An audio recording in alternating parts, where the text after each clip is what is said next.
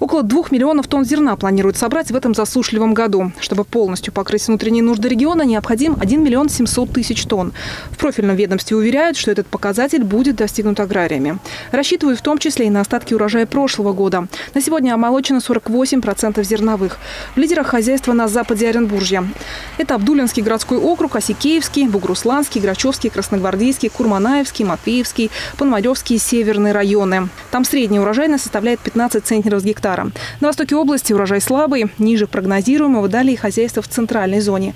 Причина – погода. 600 тысяч гектаров зерновых погибло из-за жары. Общий ущерб – порядка 3 миллиардов рублей. Денис Иванович Пассер, губернатор, обратился к представителю правительства Мишустину. Это по оказанию помощи пострадавшим территориям.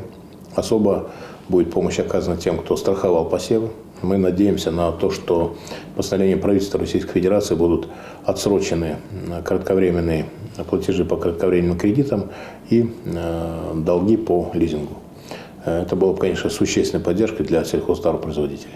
Первый вице-губернатор опасается, что засуха, которая стояла в ряде муниципалитетов, в 30 был введен режим ЧС, негативно отразится на состоянии посевов озимых культур.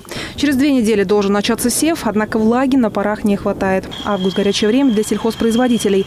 В самом разгаре заготовка кормов. На 74% заготовлено сеном, более 50% сенажа. Сергей Балыкин говорит, что с кормами в этом году тоже сложно. Идет инвентаризация прошлогодних запасов. Животноводческие хозяйства Центральной и Восточной зеленой зоны приобретают корма в северо-западных районах области. Ведь от качества и количества кормов зависит не только доход предприятий, но и вообще целостность всего поголовья.